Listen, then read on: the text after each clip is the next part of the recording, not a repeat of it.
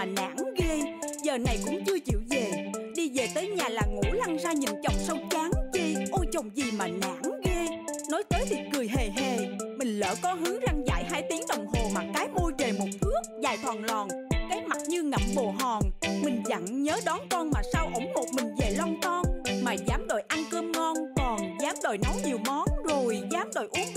về mà đòi nữa tôi cho chờ cơm mỏi mòn. Ơi mình ơi mình ơi mình nấu cơm chưa? Chắc chưa. Ơi mình ơi mình ơi mình nấu cơm đi. Thôi khỏi đi. Vậy thôi mình ơi mình để tôi nấu cơm cho. Mình ăn. Mình im lặng thinh vậy đi tôi đỡ âu lo. Nha mình. Nín. Ông về mà ông cũng không nói cho tôi biết một tiếng. Ông im lặng như vậy để ông đi ngủ đúng không? Rồi mọi chuyện trong nhà là để tôi lo. Cơm nước Con cái Cái gì cũng tôi hết từ ngoài đầu hẻm tôi nghe cái giọng của bà. Cả sớm nhìn tôi ánh mắt và biểu cùng hỏi sao không vô nhà. Tim tôi nó đập còn lẹ hơn giọng của bà. Áp lực nó đè lên đầu tóc mọc hết nổi cũng bởi do bà mà ra. Chuyện vậy mà ông cũng nói, Ít tóc là tại ông hói Tôi đã làm gì, tôi đã nói gì, Mắc gì là lỗi tại tôi. Răng dại ông kêu chửi bới, Khuyên bảo ông kêu lắm lời. Khỏi ăn, khỏi uống, tắm rửa, thay đồ xong rồi mình nói chuyện chơi. Xin mời. Không có mời gì hết á. Tôi không nói chuyện với bà nữa. Ủa giờ đi đâu vậy? Để quên cái bộ tóc giả trên công ty Thiết tình. Đây nè Tóc giả đây nè. Ra đây nè. Cái tóc người ta quý hơn vàng mà bà làm như là cái mớ đồ nhui bà chui bàn Ô cái tóc giả mà tháo ra Tháo vô tháo ra tháo vô hoài. Tôi giận bà 5 phút. Trời ơi mừng quá à. Ủa ủa ủa Rồi con mình đâu? Bà tự đón Cái gì vậy? Đâu làm cái gì mà không đón con? Tôi mắc gọi đầu Trời trời ơi khổ ghê vậy đó. Rồi tóc giả mà suốt ngày gọi đầu hoài. Alo? À, Dạ dạ chào cô giáo. À Ủa cô chở cháu Minh về luôn hả? Dạ dạ dạ cảm ơn cô nhiều nha. Dạ xin lỗi cô tại vì à, ba cháu quên đi làm luôn mua cái quên đón cháu. À dạ dạ dạ dạ. Vậy giờ có gì cô đến nhà mình nói chuyện sau nha. Ghê á, Có cái chuyện đón con mà cũng quên nữa. Không biết lộn nhớ cái gì vậy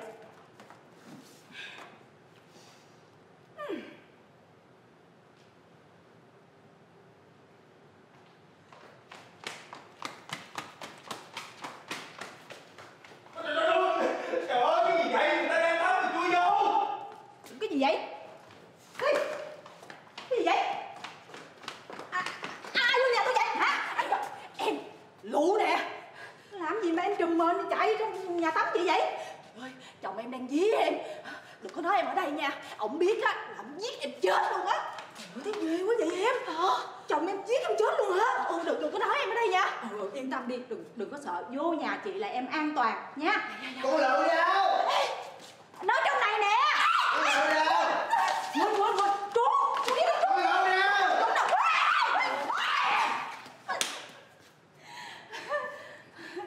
Cái gì nè? Không có cái gì á Ê, Làm cái gì vậy?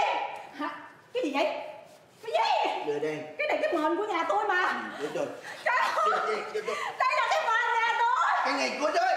Cái mền của nhà tôi. Sao mà vô giật mền tôi vậy? Cái nào? À đúng rồi. Nhà nào cũng có cái mền giống vậy. Cái này nó cũng đại trà Chứ có đặc biệt gì. Thấy là nói đi. Yên tâm đi yên tâm đi. Dạ. Em ơi Chồng em đi rồi. Em ngồi dậy đi Không sao đâu. Nha. Tĩnh Ê! Trời ơi sao làm chuyện đẹp vậy? Hả lụ Trời ơi Trời ơi chị ơi. Chị ngồi được rồi. Chị còn nhún một cái nữa. Không có Không có. Không này Em đừng có sợ nha. Bình tĩnh đi.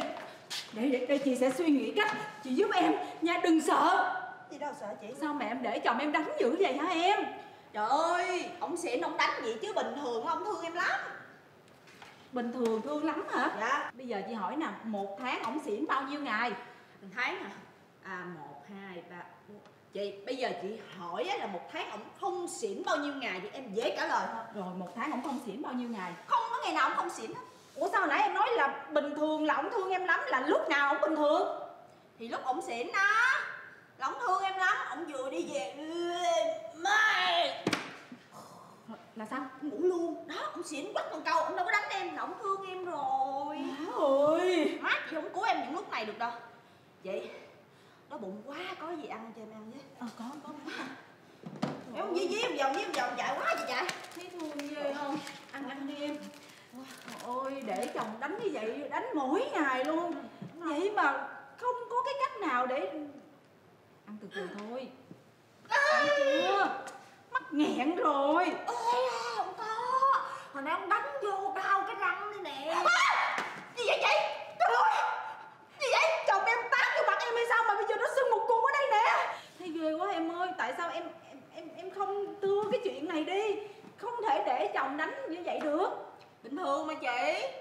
Trời ơi lần đầu tiên tôi nghe cái câu đó luôn á chồng đánh vợ mà bình thường. Ồ vậy em ơi á? không được. Để đánh như vậy rất là nguy hiểm báo đài người ta đăng đầy hết. Không có để bạo hành như vậy được em phải thưa cái chuyện này lên hội phụ nữ để người ta giải quyết giúp em. Đi lên đó hoài luôn. Lên hoài? ờ cứ đi lên cái ổng hứa. Rồi biết rồi tôi hứa anh thương. Anh sẽ không đánh em nữa. Anh hứa nữa anh thề anh thề vừa về tới nhậm thôi em rồi sao sao vậy? Tại vì ông nói em mày làm nhục cái đó thôi ôi, thấy ghê quá em ơi.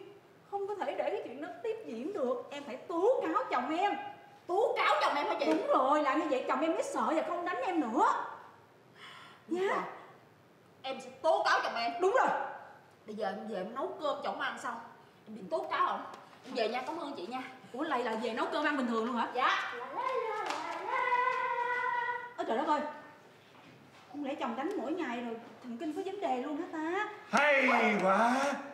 Trời ơi hôm nay vợ của anh là xuất sắc luôn Coi như là chuyện nhà người ta mà em biết giống như là chuyện nhà của mình Em giải quyết rớt rẽn luôn. Thì đúng rồi, bà con hàng xóm em phải giúp đỡ nhau chứ anh. Vậy mà chuyện gia đình mình em lại không giải quyết được.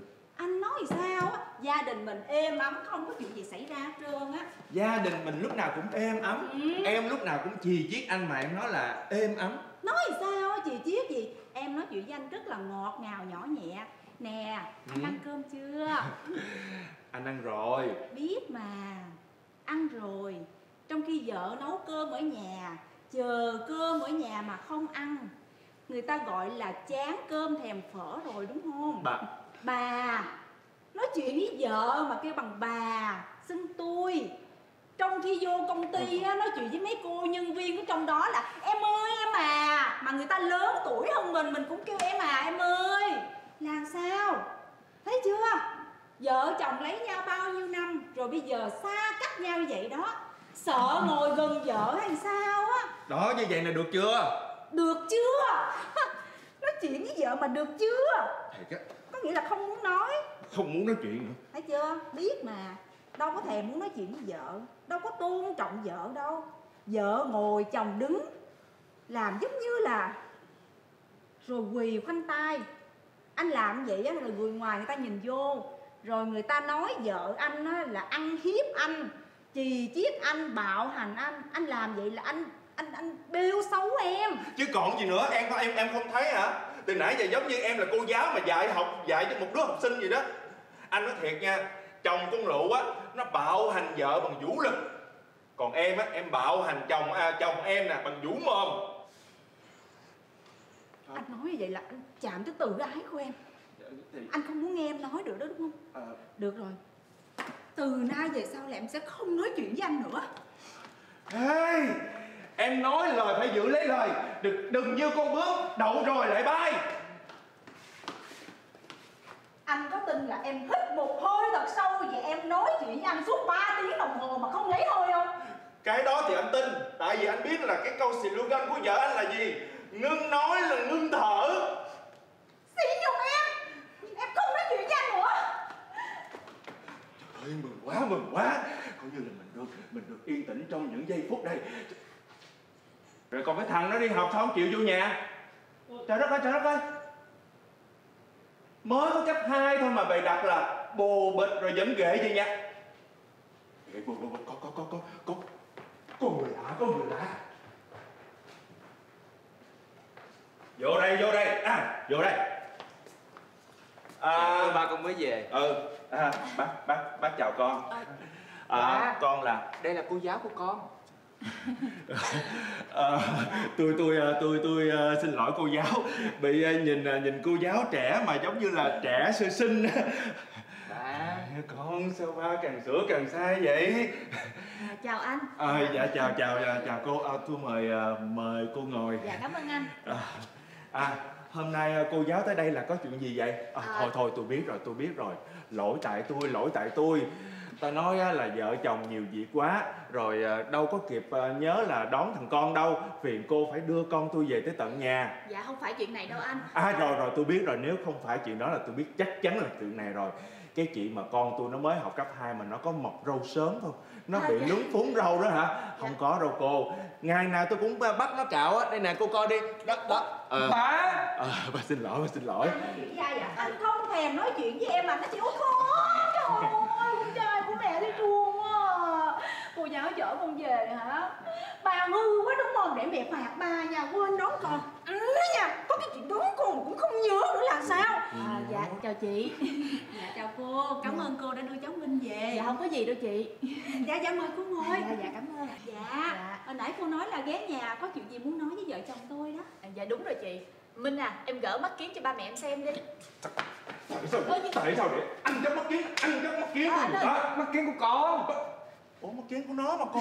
nhớ tao hết à à, dạ đúng rồi anh à, minh em cứ mở mắt kiến cho ba mẹ em xem đi À, có cái gì đâu xem cô tôi xem mặt con tôi mỗi ngày mà nó đẹp trai lắm trời ơi nó thừa hưởng cái này hả không cái con mắt á bên phải là giống bà nó con mắt bên trái nó bầm đen giống y như mẹ nó vậy đó trời ơi! Cái? Con con con đây con đây trời ơi sao cái con mắt của con ơi sao mà nó bầm như vậy ai đánh con nói cho mẹ nghe không có sợ. Con không có cần phải sợ gì hết á. Cứ nói cho mẹ nghe mẹ sẽ giải quyết chuyện này cho con.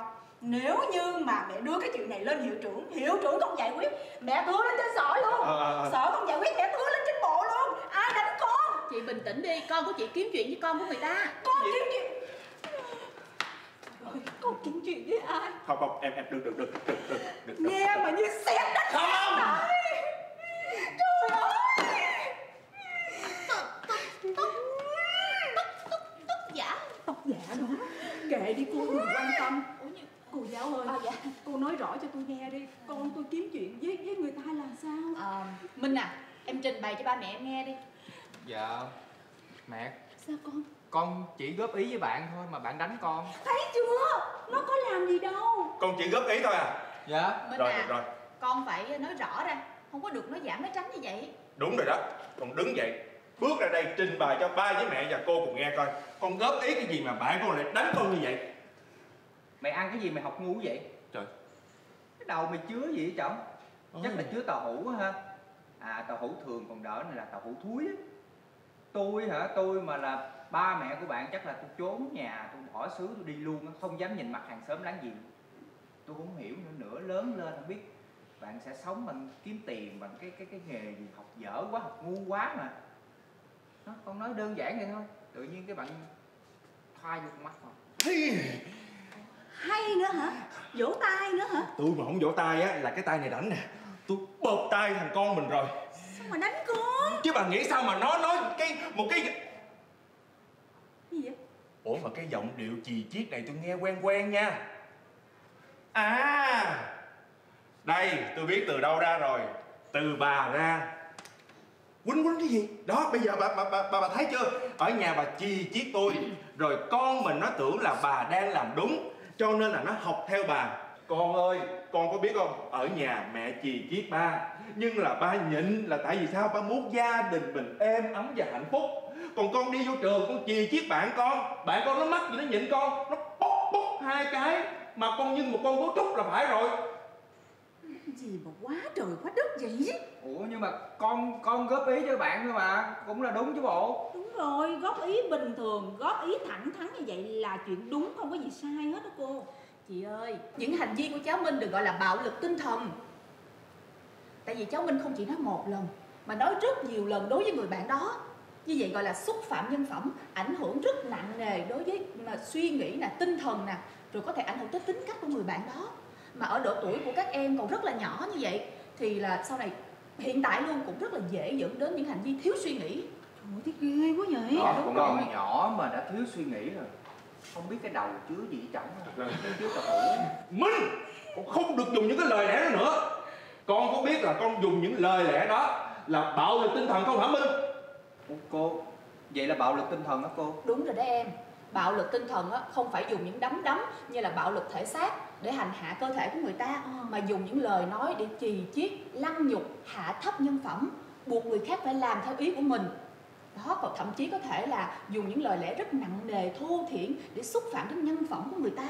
Nó có thể tồn tại với những những dạng hình thức như là đe dọa tinh thần khủng bố tâm lý nữa. Anh chị và cháu đã hiểu chưa? Không, không xuống. Buộc bà vậy cái gì vậy? xuống đánh tôi sao? Ôi giời bà.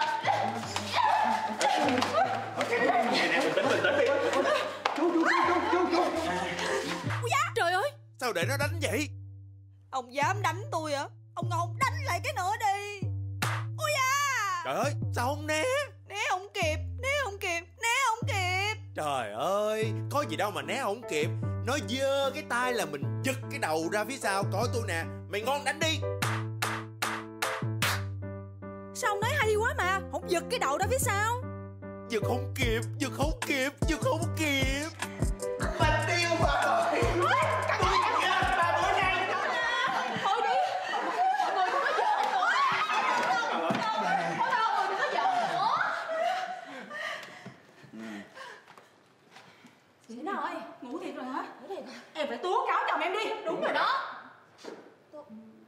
tố cáo Ừ. Tự nhiên sao mọi người kêu em tố cáo chồng em vậy? Rồi bây giờ ông sai xỉn vậy nè. Nói chính quyền có nghe không? Có tin em không? Kệ em đi.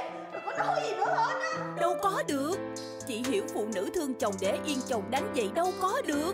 Phụ nữ là để yêu chiều chứ không phải đón nhận những vết thương Rủi tương lai xảy ra chuyện nghiêm trọng ai đâu mà biết trước. Con nhỏ chứng kiến cha mẹ bạo hành tâm hồn sẽ bị tổn thương.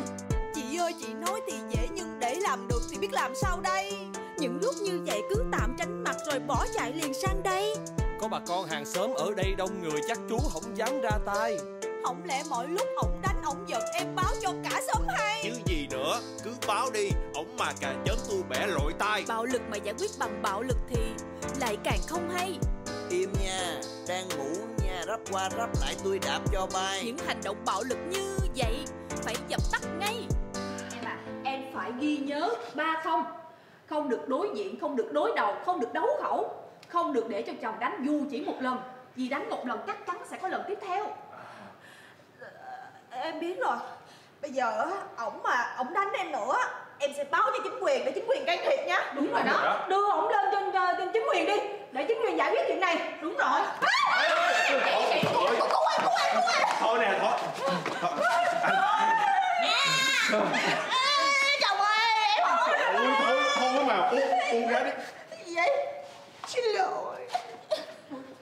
Đừng có báo chính quyền. Anh biết lỗi của anh rồi. Anh hiểu hết mọi chuyện mà. Hiểu gì mà hiểu ngủ không mà hiểu cái gì? Phải ngủ chứ nhưng mà Chập chờn chập chờn nghe hết. Anh xin lỗi. Tại vì anh xỉn vô rồi anh nóng quá Anh không có kềm chế được. Anh mới động tay động chân với em. Nhưng mà anh hứa Anh hứa là anh sẽ không quýnh em nữa. Không quýnh lần nào nữa Từ đây là bỏ luôn. Thôi thôi đừng có hứa suông như vậy. Bây giờ anh hứa với tôi đi hứa với mọi người luôn đây nè. Anh bỏ rượu đi Bỏ rượu. Ừ. Rượu là nếp đó. Thèm nếp thì mua xôi gì ăn? Trời đúng rồi anh phải bỏ rượu đi. Tại vì rượu là một trong những nguyên nhân gây ra những hành vi bạo lực. Và những hành vi của gia đình anh được gọi là bạo lực thể xác. Thấy chưa? Đó đó. Ủa? Nghe rõ chưa? Ông á suốt ngày ông chì chiết tôi. Ông, ông bạo lực tôi đi nha nha. Là ông phạm pháp đó nghe chưa? Đó bà thấy chưa? Bà chì chiết mẹ đi. Thành bạo lực đó và những hành vi của gia đình chị được gọi là bạo lực tinh thần. Đó đó Hai mẹ con thấy chưa? Rồi rồi thấy rồi thôi mà biết rồi. Mọi người phải biết á những hành vi bạo lực của người chồng đối với người vợ xảy ra rất thường xuyên trong mọi gia đình. Những người chồng thường xuyên dùng nắm đấm để dạy vợ hay là cha mẹ thường xuyên dùng roi giọt để dạy con cái. Chính là những hành vi bạo lực Trời. vi phạm pháp luật đó mọi người à thiệt luôn hả? Dạ, và không chỉ là những hành vi như vậy mới gọi là bạo lực Mà những lời nói chì chiết, lăng nhục, hạ thấp nhân phẩm Hay là những hành vi cưỡng bức tình dục Rồi à, kiểm soát tài chính cũng được gọi là bạo lực luôn. Thấy ghê quá à. Và những hành vi bạo lực đó không chỉ tới từ phía người chồng Mà có thể tới từ phía người vợ Thậm chí là tới từ con cái nữa. Vậy thì bây giờ chúng ta hãy cùng nhau xây dựng một gia đình hạnh phúc Một xã hội văn minh bằng cách chấm dứt bạo lực Đồng ý.